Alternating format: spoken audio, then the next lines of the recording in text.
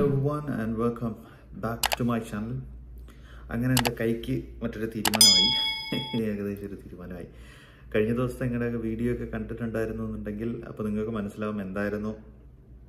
പിന്നെ എവിടെയായിരുന്നു ഞങ്ങൾ എന്നുള്ളത് നിങ്ങൾ വീഡിയോ കണ്ടിട്ടുണ്ടെങ്കിൽ മനസ്സിലാവും. കണ്ടിട്ടില്ലാത്തവരാണെങ്കിൽ അത് കണ്ടിട്ട് പോയോ അപ്പോൾ ഇതെങ്ങനെ സംഭവിച്ചു? എന്താണ് ഇതിന്റെ പ്രശ്നങ്ങൾ? എന്തായിരുന്നു എന്റെ മെയിൻ ഒരു ഇഷ്യൂ എന്നുള്ളത് നമുക്ക് എന്തായാലും തന്നെ കാണാം. സോ ആദ്യമായിട്ടാണ് കാണുന്നതെങ്കിൽ ലൈക്ക് ചെയ്യാനും ഷെയർ ചെയ്യാനും സബ്സ്ക്രൈബ് ചെയ്യാനും മറക്കരുത്. മറ്റൊരു അനുഭവം ആയിട്ടാണ് ഞാൻ ഇന്ന് നിങ്ങൾക്ക് മുന്നിലേക്ക് എത്തിയിട്ടുള്ളത്. So welcome back once again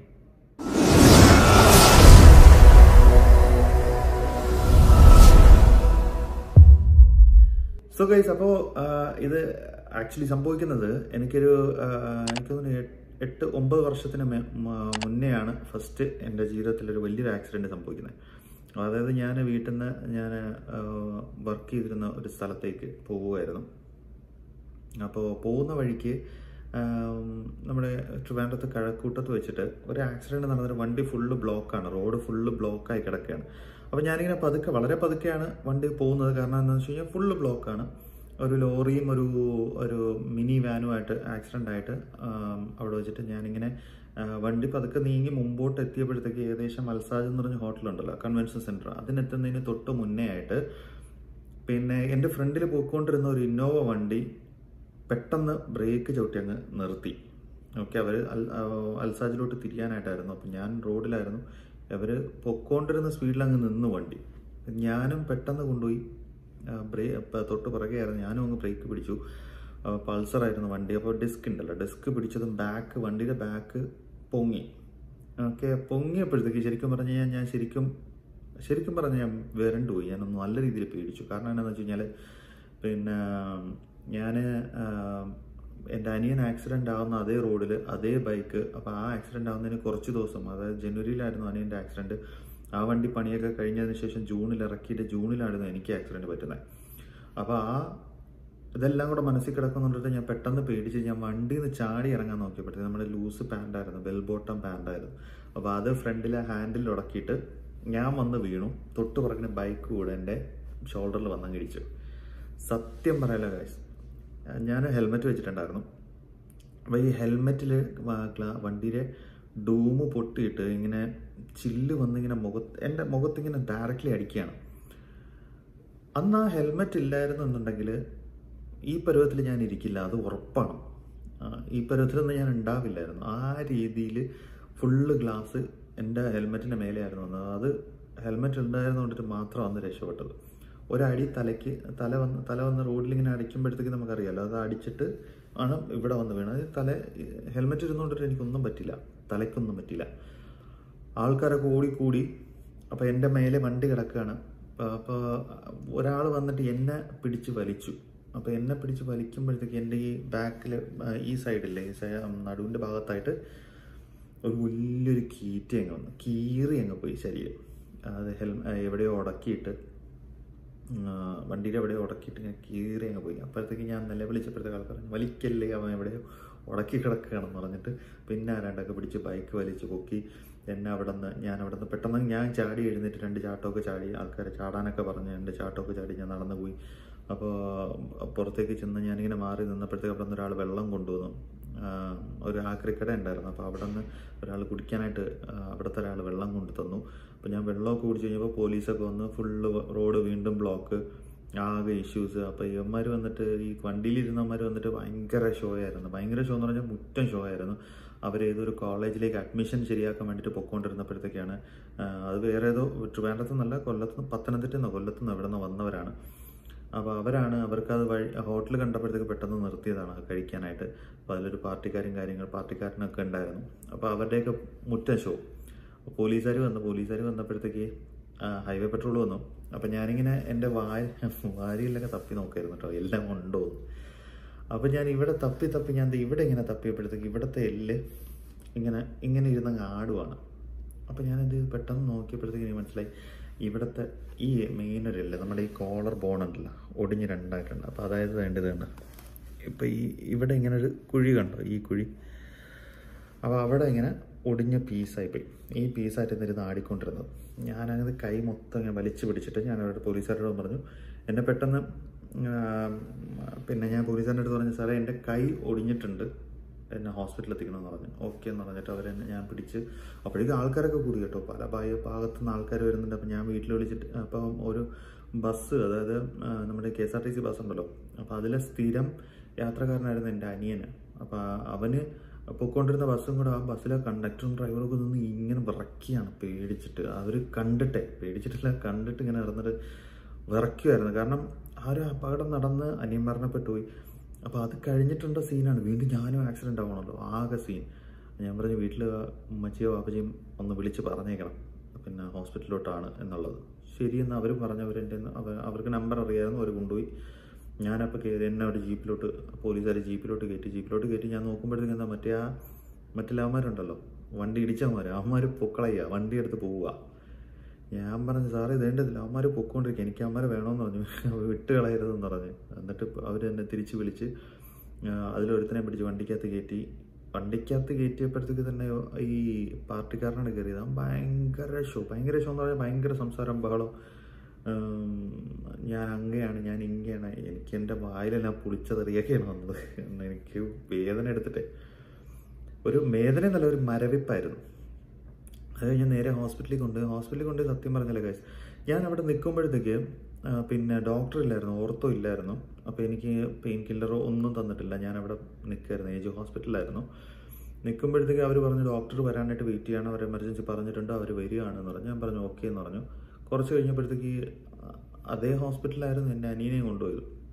അപ്പോൾ അവിടെ ഒരു ചേച്ചിയുണ്ട് ചേച്ചി അവിടെ തൂക്കുന്നൊരു ചേച്ചിയാണ്. ചേച്ചിക്ക് എന്നെ അനിയനെയൊക്കെ നന്നായിട്ട് അറിയുന്ന പുള്ളിക്കാരത്തി ഓടി വന്ന് എന്റെ സജിനെ ഇതെന്തുവാ എന്ന് പറഞ്ഞുകൊണ്ട് ഓടിക്കൊണ്ട് വന്നപ്പോഴത്തേക്ക് അപ്പോൾ ആ ചേച്ചി ഇങ്ങനെ ഓടി വരുന്നത് കാണാൻ എനിക്ക്.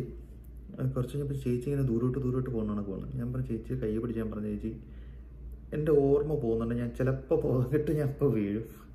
എനിക്ക് കണ്ണൊക്കെ കിറങ്ങി കിറങ്ങി വരുന്നു എന്ന് പറഞ്ഞ് ഞാൻ ഇങ്ങനെ കിറങ്ങി വന്നതും അവർ പെട്ടെന്നൊരു വീൽ ചെയർ എടുത്തുകൊണ്ട് വന്ന് എന്നെ അതി കൊണ്ട് നേരെ അകത്തുകൊണ്ട് ഡോക്ടറെയൊക്കെ അവിടെ നിന്ന് ഇവിടുന്ന് വിളിച്ചുകൊണ്ട് വന്ന് പെട്ടെന്ന് എനിക്ക് സ്റ്റിക്കർ ഒട്ടിച്ചു. ഈ സ്റ്റിക്കർ ഒട്ടിച്ചിലായിരുന്നു ഡാമേജ് പറ്റിയത് കേട്ടോ അപ്പോൾ ആ സ്റ്റിക്കർ ഒട്ടിച്ചത് ബാക്കിൽ നിന്ന് ഫ്രണ്ടിലേക്ക് ഒട്ടിച്ചു. ആക്ച്വലി അത് ഒട്ടിക്കേണ്ടിയിരുന്നത് ഫ്രണ്ടിൽ നിന്ന് ബാക്കിലോട്ട് വരിഞ്ഞിട്ട് നമ്മുടെ ബെൽ ഇതേപോലത്തെ വേറൊരു ബെൽറ്റ് ഉണ്ടല്ലോ. ആ ബെൽറ്റ് വെച്ചിട്ട് രണ്ട് സൈഡ് വരിഞ്ഞ് നടു വലിച്ചിങ്ങനെ നിവർത്തി നിർത്തിയാൽ മാത്രമേ നമ്മുടെ ഈ എല്ല് പിന്നെ നേരെ ഇങ്ങനെ ഒട്ടത്തുള്ളൂ. മനസ്സിലായി? ഇങ്ങനെ ഒട്ടണം. ഇതിപ്പോൾ എന്റെ എല്ല് ഒട്ടിക്കണം ഇങ്ങനെ ഈ സൈഡിലെ എല്ല് ഇത് ഇവിടുത്തെ എല്ലാണ് അതിന്റെ മേലെ അത് ഇങ്ങനെയാണ് ഒട്ടിക്കുന്നത്. മനസ്സിലായത് ഈ ഒരു തള്ളൽ ഇവിടെയുണ്ട്. ഇവിടെയും ഇങ്ങനെ ഒരു തള്ളലും ഉണ്ട് അപ്പോൾ ഇങ്ങനെയാണോ ഇങ്ങനെയാണ് ഇരിക്കുന്നത് എന്റെ കോളർ ബോൺ അപ്പോൾ ഇത് ലിറ്ററലി ഇങ്ങനെ ഇരിക്കുമ്പോഴത്തേക്ക് എനിക്ക് ഭയങ്കര ഇറിറ്റേഷൻ നമ്മുടെ ഈ എല്ലിങ്ങനെ ഒരു ഒരു കൂർത്തണൊക്കെ ഇരിക്കുമ്പോഴത്തേക്ക് നമ്മുടെ തൊലിയുടെ അവരെയൊക്കെ വന്നിട്ട് ഇങ്ങനെ കൊള്ളുമ്പോഴത്തേക്ക് ഭയങ്കര ഇറിറ്റേഷൻ ഉണ്ട് രണ്ട് സൈഡിലായിരുന്നാലും അതുപോലെ ഇവിടെ നമ്മൾ സൂക്ഷിച്ചില്ലാന്നുണ്ടെങ്കിൽ ഈ എന്റെ കോർണർ ഇവിടെയാണ്. അപ്പോൾ ഇവിടെ നിന്ന് ഇങ്ങനെ ഡിസ്ലൊക്കേറ്റ് ആവുകയും ചെയ്യും. ഇടയ്ക്കിടയ്ക്ക് അതുള്ളതാണ്. അപ്പോൾ അത് അന്ന് അവരൊരു മിസ്റ്റേക്ക് കാണിച്ചു. അതിന്റെ ആജീവനാന്തം ഞാനിപ്പോൾ അനുഭവിച്ചുകൊണ്ടിരിക്കുകയാണ്. അപ്പോൾ അത് കഴിഞ്ഞതിന് ശേഷം ഞാനൊരു ഒരു ഒന്നൊന്നര മാസത്തോളം ഞാൻ ഈ കൈയും ഇങ്ങനെ വെച്ച് അനക്കാൻ പറ്റാണ്ട് ഇങ്ങനെ ഇരുന്നു. ഒരു ഒരു മാസം കഴിഞ്ഞതിന് ശേഷമാണ് ഞാൻ ആയുർവേദത്തിൽ പോയി ചെക്ക് ചെയ്തപ്പോഴത്തേക്ക് കൈ വീണ്ടും അങ്ങോട്ട് ശരിയാവായത് വന്നപ്പോഴത്തേക്ക് ഞാൻ അവിടെ പോയി ചെക്ക് ചെയ്തു. ചെക്ക് ചെയ്തപ്പോഴത്തേക്കാണ് പിന്നെ എക്സ്റേ എടുത്തപ്പോഴാണ് ഈ വക കാര്യങ്ങളൊക്കെ അറിഞ്ഞതും. അപ്പോൾ ഇനിയിപ്പോൾ ഒന്നും ചെയ്യാൻ പറ്റത്തില്ല. അപ്പോൾ ഈ തണുപ്പ് സമയമാകുമ്പോഴത്തേക്ക് നമുക്ക് ഒരു ഇറിറ്റേഷനും കാര്യങ്ങളൊക്കെ ഉണ്ടാവാറുണ്ട്. അപ്പോൾ ഇത് ഇടയ്ക്കിടയ്ക്ക് എനിക്ക് പറ്റണതാണ്. ഇവിടെ നിന്ന് ഡിസ്ലൊക്കേറ്റ് ആയി പോകും പിന്നെ ഇവിടെ നിന്ന് ഇവിടെ നിന്നുള്ള ഞരമ്പ് ഇങ്ങനെ ഫുള്ള് കൈ വരെ ഭയങ്കര വേദനയായിരിക്കും. കുറേ കുറേ ദിവസം കയ്യാനൊക്കെ അത് വെച്ചേക്കണം. മരുന്ന് തൊട്ട് വീണ്ടും ശരിയാവും. പിന്നെ അത് കുഴപ്പമില്ല അങ്ങനെ പോയിക്കൊണ്ടിരിക്കും. അപ്പോൾ ഇവിടെ ഞാനിന്ന് കഴിഞ്ഞ ദിവസം പോയപ്പോഴത്തേക്ക് ഒന്ന് വീണപ്പോഴത്തേക്ക് എന്റെ കൈയിന്റെ മുട്ട് ഇവിടെ ഇടിച്ചായിരുന്നു. അടി ഇട്ടിയപ്പോഴത്തേക്ക് തന്നെ എനിക്ക് മനസ്സിലായി ഇവിടെ നിന്ന് സാധനം പ്രശ്നമാണ് എന്ന് ഒരു ചെറിയ തോന്നലുണ്ടായി. കുറച്ച് കഴിഞ്ഞ് പിന്നെ വേദന ഇങ്ങനെ കൂടിക്കൂടി വന്നു. രാത്രിയായപ്പോഴത്തേക്കൊക്കെ വേദന നല്ല കൂടി. തണുപ്പ് ഇവിടെ തണുപ്പ് തുടങ്ങുകയാണ്. അപ്പോൾ രാവിലെയൊക്കെ നല്ല തണുപ്പാണ്. നല്ല കോച്ചിപ്പിടുത്തം തുടങ്ങി. ശനിയാഴ്ച ആയിട്ട് എനിക്ക് രക്ഷയില്ല. ഹോസ്പിറ്റലിൽ പോയി. എക്സ്റേ എടുത്ത് നോക്കി. ഒടിഞ്ഞോന്ന് അങ്ങനെ നോക്കി. ഒടിഞ്ഞിട്ടൊന്നുമില്ല. പിന്നെ പിന്നെ അവർ പുള്ളിക്കാരനൊരു പെയിൻ കില്ലർ മാത്രം തന്നു. ഓ കുഴപ്പമൊന്നുമില്ല പൊക്കോ പൊക്കോ എന്ന് പറഞ്ഞു. പിന്നെ വേറെ പോയി കാണിച്ചു അടുത്തടുത്ത് പോയി കാണിച്ചു. അതായത് ഹോസ്പിറ്റലൊന്നും നമ്മൾ പറയുന്നില്ല. ആദ്യൊരിടത്ത് പോയി രണ്ടാമത് വേറെ അടുത്ത് പോയി. അവിടെ പോയതിന് ശേഷം ഒരു മൂന്ന് ദിവസത്തെ റെസ്റ്റ് പറഞ്ഞു. ഒരു ഇൻഫ്ലമേറ്ററി എന്താ വെയിൻ വലിഞ്ഞതിന്റെ ഒരു ടാബ്ലറ്റും തന്നു ഒരു പെയിൻ കില്ലറും തന്നു. ഓയിൻമെന്റ് തന്നു. രണ്ട് ദിവസത്തേക്ക് റെസ്റ്റ് പറഞ്ഞു കൈക്ക്. അപ്പോൾ ഇപ്പോൾ ഇപ്പോൾ വലിയ കുഴപ്പമില്ല. ഇനി ഒരു ദിവസം ഇനിയും ഉണ്ട്. നിങ്ങളിപ്പോൾ നിങ്ങളിപ്പോൾ വീഡിയോ കാണുമ്പോഴത്തേക്ക് ഞാനിത് അഴിച്ചിട്ടുണ്ടാവും. അഴിക്കാൻ കുഴപ്പമൊന്നുമില്ല കേട്ടോ. എനിക്ക് കൈ അഴിക്കാൻ അനക്കുന്നതിൽ കുഴപ്പമൊന്നുമില്ല. പക്ഷേ ഇവിടെ നിന്ന് ഇങ്ങനെ ഒരു ആ കൈ അനക്കുമ്പോഴത്തേക്ക് ഇവിടെ നിന്ന് ഇങ്ങനെ ഒരു പെയിനാണ് ഒരു നമ്മൾ ഈ വലിയത്തില്ലേ ഞരമ്പ് വലിയുമ്പോഴത്തേക്ക് ഉണ്ടാകുന്ന നല്ലൊരു പെയിൻ ഉണ്ടാവും.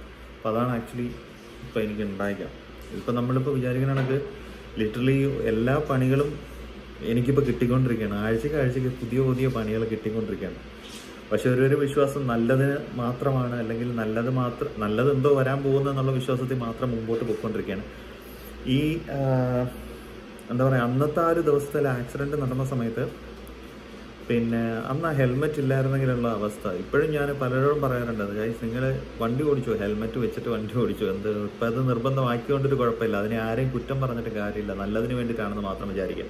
അന്ന് ലിറ്ററലി എനിക്ക് ആ ഒരു ഹെൽമെറ്റ് ഇല്ലായിരുന്നെങ്കിൽ ഇന്ന് ഞാൻ ജീവനോട് ഉണ്ടാവില്ലായിരുന്നു.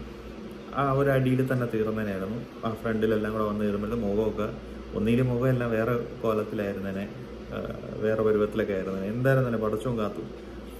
അതൊരു അനുഭവമായിരുന്നു. എനിക്ക് വലിയൊരു അനുഭവമാണ്. ആ അനുഭവം ഇപ്പം ജീവിതകാലം മൊത്തം ഞാനിങ്ങനെ അനുഭവിച്ചുകൊണ്ടിരിക്കുകയാണ്. അതിനി എത്ര വരെ ഇനിയിപ്പം ഒരാ ആരടുത്തും ഞാൻ ചോദിച്ചപ്പോൾ എന്റെ അടുത്ത് പറയുകയാണ് അത് ആ പോർഷൻ മാത്രം കട്ട് ചെയ്ത് മാറ്റിയിട്ട് അവിടെ കമ്പി ഇട്ട് അപ്പുറം അപ്പുറം ജോയിൻ ചെയ്താൽ മാത്രം ആ പ്രശ്നം സോൾവ് ആവുന്നതാണ്. അപ്പോൾ അത്രയും വലിയൊരു റിസ്ക്കിനൊന്നും ഞാൻ എടുക്കാൻ നിൽക്കണില്ല. ഇപ്പം കുറച്ച് ഇപ്പം ഇങ്ങനെ തെന്നി മാറി കഴിഞ്ഞാൽ പിന്നെ രണ്ട് ദിവസത്തെ ഒരു ചെറിയൊരു അനുഭവം ഒരു എന്താ പറയുക കുറച്ചൊന്ന് പെയിന് സഹിക്കണമെന്ന് മാത്രമല്ലേ ഉള്ളൂ. അപ്പോൾ അത് കാരണം അതങ്ങനെ അഡ്ജസ്റ്റ് ചെയ്ത് പോകുന്നു. അഡ്ജസ്റ്റ് ചെയ്ത് പോകുന്നു തന്നെ വിചാരിക്കുന്നു. അതിങ്ങനെ നമ്മുടെ കൈ ഒരു കൈ മാത്രം ഉപയോഗിക്കുമ്പോഴത്തേക്ക് കൈ ഉള്ളപ്പോഴത്തേക്ക് കൈയിന്റെ വില അറിയില്ല എന്ന് പറഞ്ഞ കണക്ക്. ഉള്ളത് കൊണ്ടിട്ട് നമ്മൾ ആ ടൈമിൽ എന്തായിരുന്നാലും പടച്ചോൻ കാത്ത് അത്രയാണ് ആർത്തിക്കുക ഇനിയും ഇനിയും പരീക്ഷണം കൊണ്ടൊന്നും താങ്ങാനായിട്ടുള്ള ശേഷി എനിക്കില്ല. താങ്ങി താങ്ങി ഞാൻ മടുത്ത്. വയ്യ എനിക്ക്. അപ്പോൾ ഇത്രയുള്ള കാഴ്ച ഇതായിരുന്നു എന്റെ മറ്റൊരു അനുഭവം. ഇതിന് മുന്നേ ഞാൻ വേറൊരു സംഭവം ഞാൻ പറഞ്ഞിരുന്നു എന്റെ ജീവിതത്തിലുണ്ടായ ഒരു അനുഭവം പറഞ്ഞിട്ടുണ്ടായിരുന്നു. അപ്പോൾ അന്നേരം എനിക്ക് ഒരുപാട് പേരുടെ മെസ്സേജും കാര്യങ്ങളൊക്കെ കിട്ടി. അപ്പോൾ തന്നെ എനിക്ക് ഒരുപാട് സന്തോഷം തോന്നി. ഒരുപാട് പേര് ലിറ്ററലി കാണുന്ന ആൾക്കാർ എണ്ണം കുറവാണെന്നുണ്ടെങ്കിൽ കാണുന്ന ആൾക്കാർ ജെനുവിൻ ആയിട്ടുള്ള ആൾക്കാരാണെന്ന് അറിഞ്ഞതിൽ ഒരുപാട് സന്തോഷം. So thank you very much every once again so do subscribe and support ഈ വീഡിയോ ഞാൻ എടുത്തത് എന്റെ ഇപ്പോഴുള്ള സബ്സ്ക്രൈബേഴ്സിന് വേണ്ടിയിട്ടാണ്. ഇപ്പോൾ ഉള്ള ആക്ച്വൽ വ്യൂവേഴ്സിന് വേണ്ടിയിട്ടാണ്. സോ നമുക്ക് മറ്റൊരു വീഡിയോ വീണ്ടും കാണാം. ചിലത് ടേക്ക് കെയർ ആൻഡ് അസ്സലാം